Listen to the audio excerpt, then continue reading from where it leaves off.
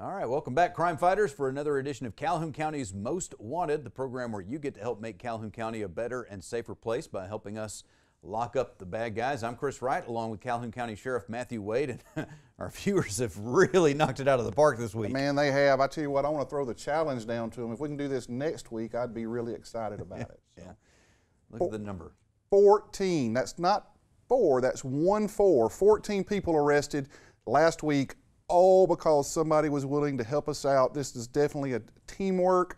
We can't do it without you. And I'm not sure, Chris, we've ever had 14 before, but uh, I'm, I'm pretty sure that we've had 14. I'm not sure if we've ever had more than that, but I remember several. It's been a while. It's been several years. We've been doing this show for over 16 years. well, we got now. the best viewers right now. So these viewers are really working hard, and we appreciate that. Yeah. While we're talking about that, you know, we're getting some really good information from our viewers on this TV show, and there's been a little bit of talk recently about another TV show that involves a different sheriff's office, and and, and people have asked your opinion on that, and, and there's a difference between what we're doing here and what's on that other show. Absolutely. You know, every, I've had numerous people ask me about the TV show 60 Days In and what I think about it. And it's a TV show, it's entertainment. Um, their goal is to make money and have ratings. And uh, I'm not saying that they don't do a little bit of good for somebody, I'm not doubting that. But uh, they're there to create drama, they're there to keep the viewers' interest. And out of that, they sell ratings and get money. I'm just not interested in that. Uh, you know, people that work for me and the didn't sign up to be on TV. They didn't sign up to be criticized by millions of viewers. Also, the people we serve uh, in our jail are at their lowest level in their life, possibly. They're in despair, they're embarrassed, they're shamed. They're not entertainment. They're human beings, and we're going to do right by them. Uh, if somebody has any questions about what goes on in Calhoun County Jail, I'll take anybody that wants to on a tour. Come see me. We'll take you down there. We don't have to have an appointment. We'll just let you go back there with a corrections officer and see what it's like. Uh, we got nothing to hide, and when something bad happens in the jail, we report it. Uh, we've arrested several corrections officers since I've been sheriff, and I, I don't put up with uh, nonsense. Now, it's a jail. There's a lot of bad decision makers in there. So anytime you have a jail, you're going to have issues because you got human beings that don't make good decisions. Uh, but when we have that happen, we'll hit it on. We'll hit that head on, deal with it, let you know about it, and move forward. And so that that's all the rationale of, of why you're not interested in that kind of a TV show. But it's it's not a judgment on anybody else that's No, made no, a different decision. No, no, no. If somebody wants to do it, that's a decision on them. That's just my personal decision. Uh, that's how I feel about it. But that doesn't mean that they're wrong for doing it. Um, you know, hopefully some good could come out of it to help them. Mm-hmm. Um, it's just something that I, I just choose not to do. So. Yeah, we've been doing this TV show for uh, more than a decade and a half, and it is a show that uh, we, we work together with the local community. It's not it's not a show for the rest of the country. It's a show for Calhoun County Absolutely. to try to make Calhoun County better. Share some information that the viewers can use and get back some information from them that we can use. Absolutely. Mhm. And we'll be asking for some more of that information here in just a few minutes. When we come back, we'll have the first half of this week's lineup on Calhoun County's Most Wanted. Hi, I'm Nancy Hilton with the Calhoun County Sheriff's Office. Last week I received a text on my phone offering to wrap my car. The message gave me all the upsides to wrapping my car, like the offset of expensive cost of gas, maintenance, insurance, and even parking.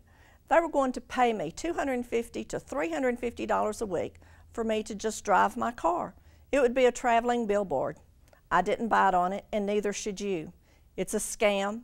It involves fake checks sent to you, and then you're returning some of the money for additional expenses with a specialist for your car wrap.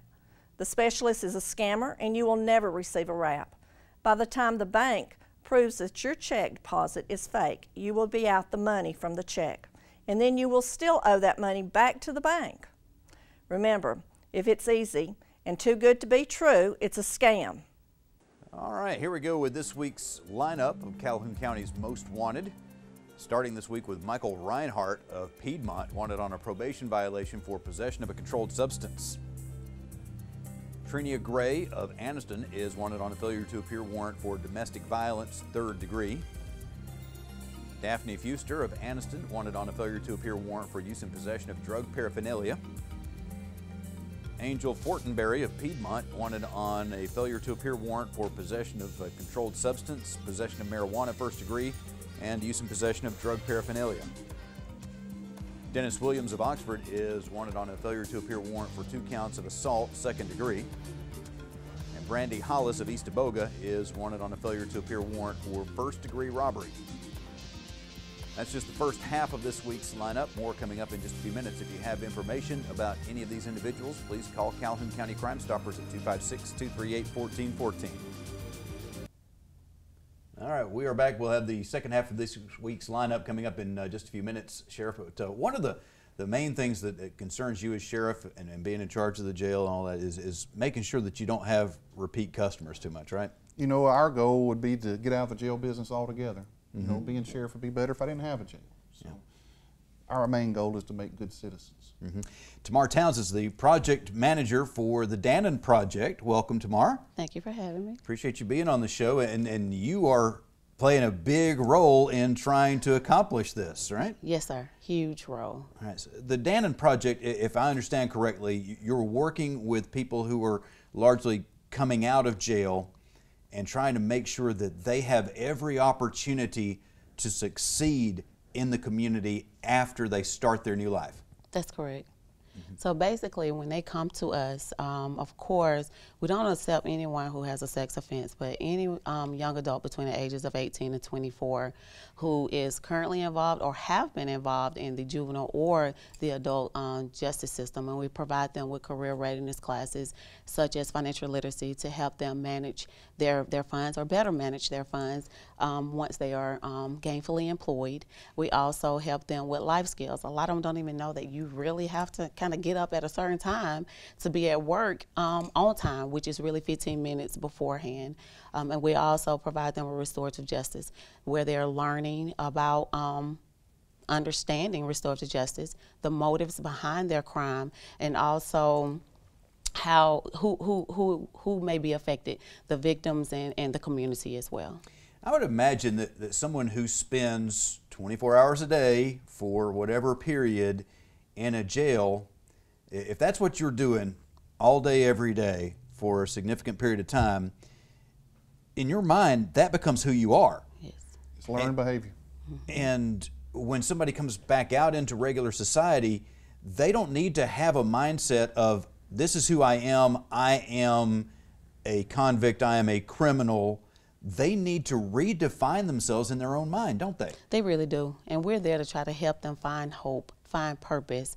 So we're actually kind of like a family to them um, and being that support that they didn't have prior to going in, or maybe while they were in there, the support that they didn't get. So, yes, when they get out, we're there to try to help them see life a little bit better. And you're actually with them before they get out, even, aren't you? Yes, sir.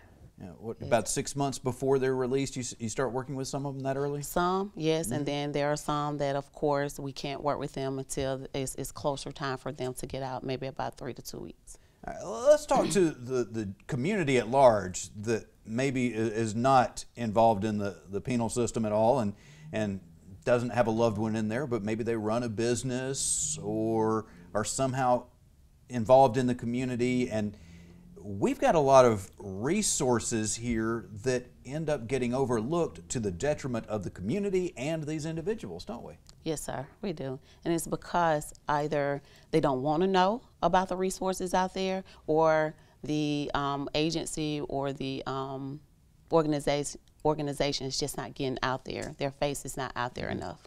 Yeah, But a a lot of a lot of employers and such could really benefit. I know people are having a hard time finding employees. I Absolutely. it's a struggle hard for jail. us. Yes, absolutely. It's a struggle everywhere. But with the Dannon Project, do- do you help at all in, in getting these individuals ready to, to be in that workforce and connecting it all? Yes, we do. It's a training to work program.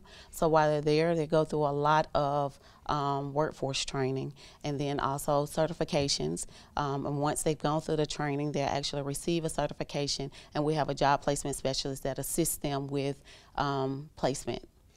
What are some of the concerns that the employers have, and how are you able to deal with those? Some of the concerns are basically getting to work on time.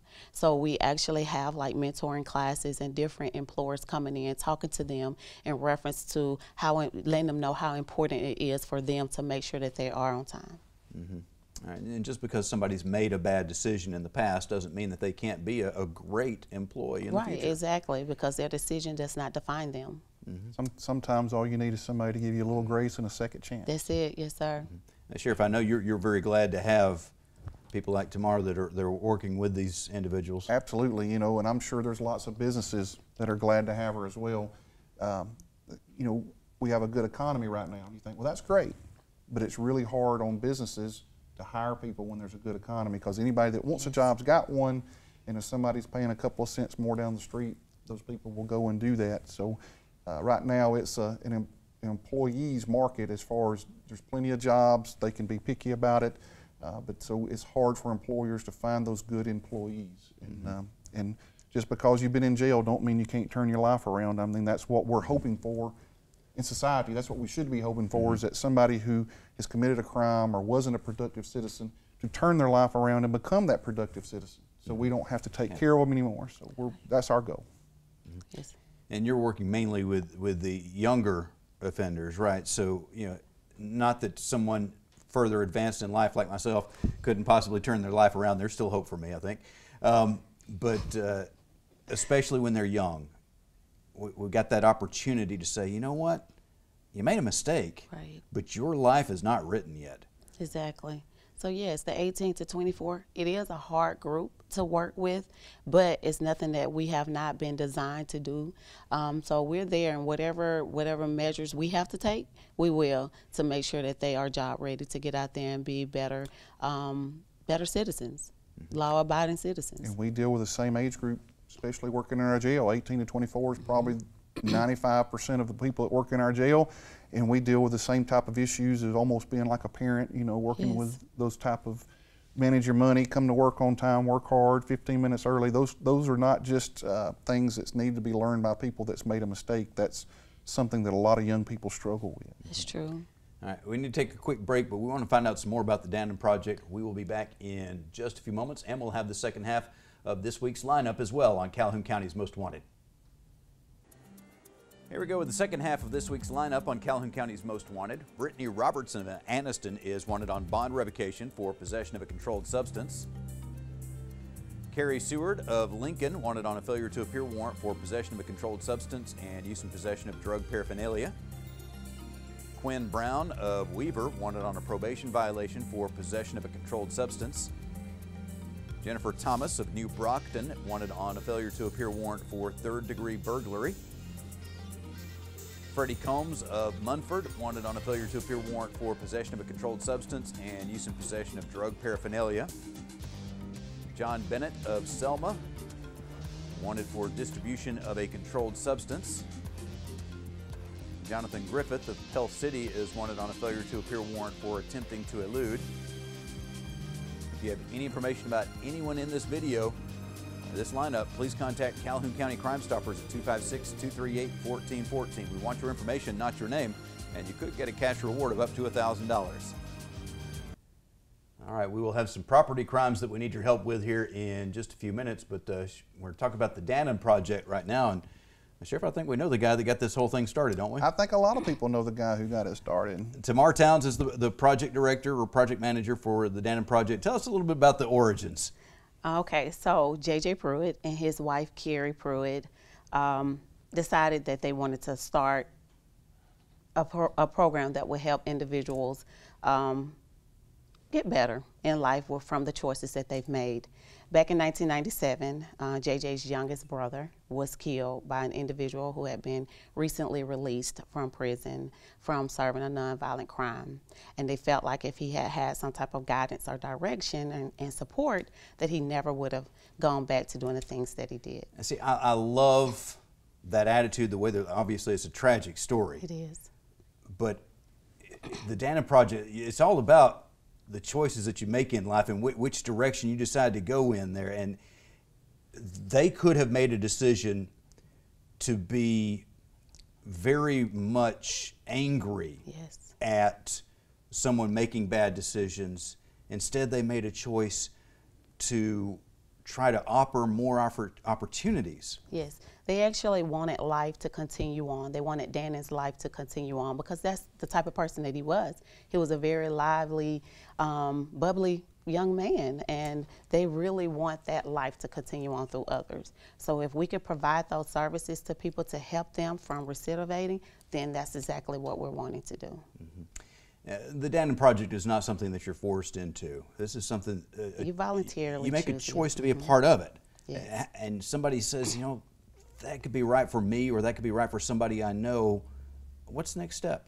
The next step is for them to contact me, myself, um, Tamar Towns um, at 205, and it's, it's going to be a Birmingham number, but they're directed to us 205 202 4072, extension 1023. We're located um, in the old C.E. Hanna School building in Hobson City, and their address is 715 Martin Luther King Drive, Anniston, Alabama 36201. We, we probably don't want to throw any names out there, but I'm sure you've seen some individuals where this project has made a real difference. Yes, we've actually made an impact in a lot of individuals' lives. Now, there are some we have not been able to, to reach, but you can't reach them all. Mm-hmm. But, but some, um, do you want to tell us, have you got any stories of, of somebody that you see that's that's just really making a, a, positive life for themselves now? Yes, we actually, I could talk about maybe two. I know that we have two individuals who came in needing their GED, who came in, had no job skills, um, and actually kind of like one of them was kind of very disrespectful. And once they got into the program, and it's a six week program, it took them the full six weeks to learn how not to be disrespectful, actually to learn how to love themselves, because I believe when they came in, they just did not know how to love themselves. But actually coming through and getting all the services that we provided to them and um, being genuine with them, because they could see through you. If you're not genuine, they That's can see that. absolutely correct. Yes. Mm-hmm. So after we expressed that, um, we helped them obtain their GED. Then they got a great job um, making probably about I think it was like $15 an hour starting out, and I was mm-hmm. like, gosh, that's great. Went to their GED graduation, and that in itself meant a lot for them because they were like. Um, you were here through the process, but to be here at the end where I really have never graduated before and never really had the support, it was great to be there to help them through that. But yes, we had two two that come through that needed their GED, and it was just it felt so great to be there for them. Mm-hmm. And and as the years go by, we're going to have more and more success stories, and, and we may not always hear those. Hopefully, that chapter of their lives will just kind of be not completely forgotten, but kind of put away to where it's not what people think about when they see this person right. anymore. Absolutely. Right. And, and we, we see a completely different side of them, and they see a completely different side of themselves and see themselves living a different life. Because what you see for yourself is generally what's going to happen, isn't it? Yes, it is. They actually have to do vision boards. They have to do where they where they've been in the past and where they see themselves going. And a lot of mm. them very positive. You should see them. They're beautiful, and you can really feel the connection that this is what they want to do, and they believe that they will. Well, we believe in you, and we appreciate what you're doing. Absolutely. Thank you. I appreciate the both of you. Thank you, Tamar. All right, we will be back in just a few moments. We'll have uh, some property crimes that we need your help with, and we'll have our crazy criminal of the week on Calhoun County's Most Wanted. Uh, let's see if you can help us out with some recent property crimes in the area. Between January 5th and 17th, a black and wood home brand 5 by 10 foot utility trailer was stolen from an area near mile marker 186 on Interstate 20. Between January 17th and 18th, a Bersa 380 caliber pistol was stolen from a vehicle parked on Angel Drive in Jacksonville. On January 23rd, a local resident received a package in the mail that contained a pair of high-end shoes that he did not order. He checked his credit report and found accounts had been opened in his name, which he did not know about. Between January 13th and January 24th, wheels and tires were removed from a Chevy Blazer located on New Liberty Road in Wellington. On January 25th, a tail light was stolen from a Jeep Wrangler located on Red Road 55 in Anniston. If you have information about any of these crimes or any other crimes, please contact Calhoun County Crime Stoppers at 256 238 1414. We want your information, not your name, and you could get a cash reward of up to $1,000. Stupid! You're so stupid! Uh, Sheriff, I imagine that uh, just about everybody in law enforcement has seen the TV show Breaking Bad, right? Yeah, it's a pretty good show. It's probably a, a favorite with law enforcement officers. So, uh, if you if you meet somebody named Walter White, you're probably thinking, mm-hmm, right? It would it would key you up a little bit. Like, is they lying to me or not? So, if your name is Walter White, you probably ought to keep it straight. Yeah. You think. Well, you think? this individual from Florida, who got on the one side, you got Walter White from the TV show, and the other Walter White has just been arrested again for methamphetamine charges. He kind of looks like Jesse, the, the younger one. Kind of looks like Jesse from the TV show, actually. So Yeah. yeah, Walter White. I hope uh, uh, what's his what's his AKA Heisenberg or Yeah. Heisenberg? I don't know. I didn't get far that, that far. I watched the first season and then I it depressed me, Depressed and I, I, I didn't like watching it. It was depressing to me. But yeah, if your name is the same as a criminal, that doesn't mean you have to do what they did. no, that's right. You don't have to model what those people do. So Walter, straighten up, buddy. Uh, that's all the time we've got for you this week. We'll be looking for you and Walter White again next week on Calhoun County's Most Wanted.